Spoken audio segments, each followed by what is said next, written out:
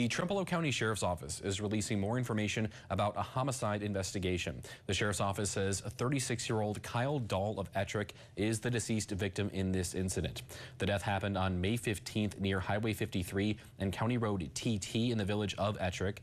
A person of interest was arrested in this case and remains in custody for unrelated charges. The Sheriff's Office says a charging decision in the homicide case has not yet been made.